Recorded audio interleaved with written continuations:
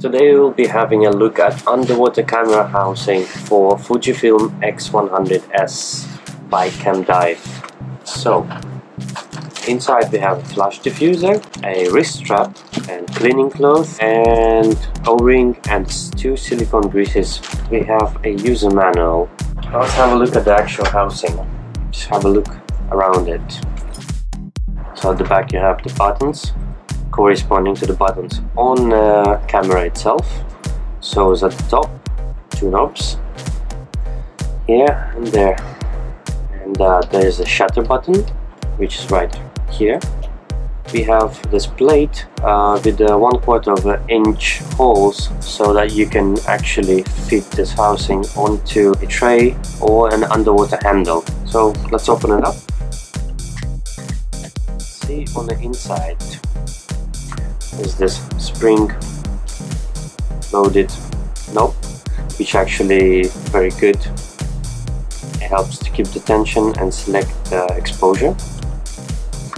As well as we have a uh, moisture absorber packet.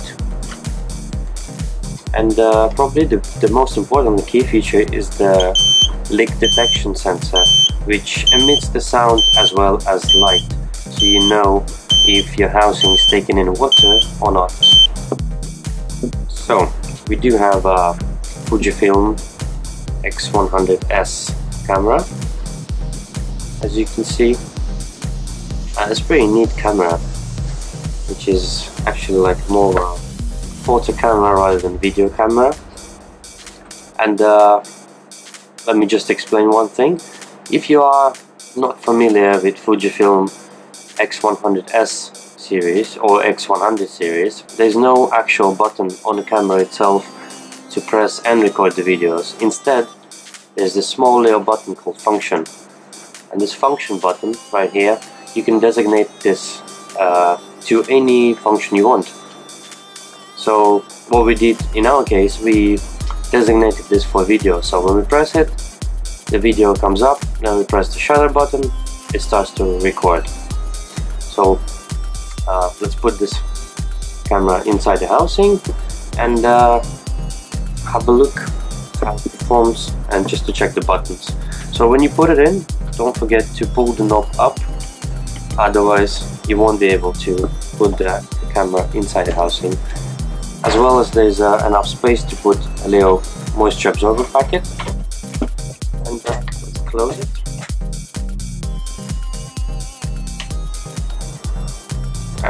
We just turn it on. So remove the cap. As you can see, controls here turn on work just perfectly as intended. And it's already auto-focusing on everything that it has to around us. And you can actually feel the autofocus through the housing, which is pretty nice. So we have the flash on at the moment and uh, let's try to take a picture. Uh, let's see if you can see it from the front.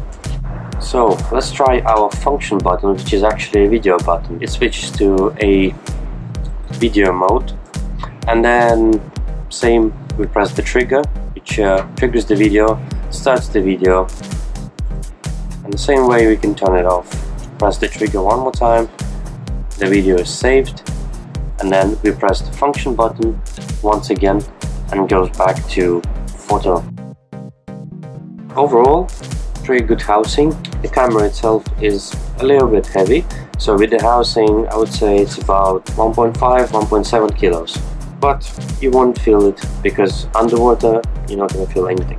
We do have uh, one more thing that uh, most of the underwater photographers should have red underwater filter which is very very useful tool sometimes you don't go too deep or you just go snorkeling. So let's go outside and see how it performs underwater